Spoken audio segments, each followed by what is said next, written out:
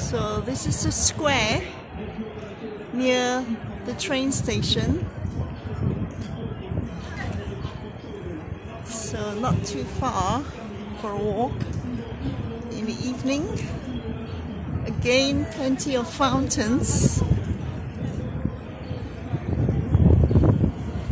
Very windy, cold wind, but nice and sunny. Summer weather. So again, lots of fountains here. They seem to be recycling a lot. There are a lot of people collecting aluminum cans and bottles to recycle. So they must be earning some money. So this is a nice square if you have money for the hotels here.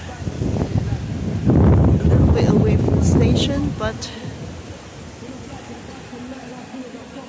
pretty good for nightlife.